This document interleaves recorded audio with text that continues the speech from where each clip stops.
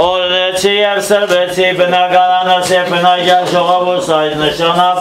Գյումրիում վագոն տնակից ազատվել է եւս մեկ ընտանիք։ Եդիգարյանները 29 տարի վագոն տնակում բնակվելուց հետո բնակարան են գնել, բայց չեն կարողացել նորոգել։ Բնակարանը զուրկ է եղել կոմունալ կենցաղային բոլոր հարմարություններից։ Այս տուն ավերակ էր, եթե տան մեջ 20 տարի մարդ չավրի, պարկետը քանդած վառած, կոմունալ հարմարություն ոչ մի բան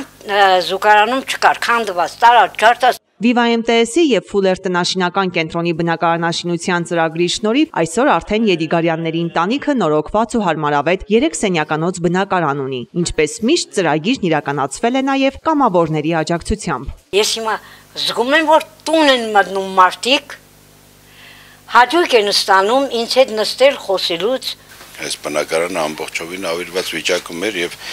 շատ զարմանալի որ ընտանիքը կարողացավ դարձնել այսպիսի վիճակ է։ Իսկ արդյունքում հերթական ընտանիքը Գյումրիում, որ շատ կարևոր է, ձերբազատվեց այդ տնական պայմաններից։ Արդյունքը գոհացնող է, երազանքն իրականացած։ Viva MTS-ի գլխավոր տնօրեն Ռալֆ Գիրիկյանն իրենց արժև դրված խնդիրը լուծված է համարում։ Այս ընտանիքը արդեն կարողացել է ցալել իր նախքին ցավոտ պատմությունը